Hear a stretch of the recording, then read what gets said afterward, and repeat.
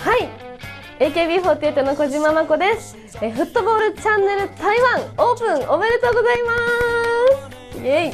さあこれから台湾でもフットボールチャンネルで情報をたくさん配信していくということで皆さんぜひチェックよろしくお願いします。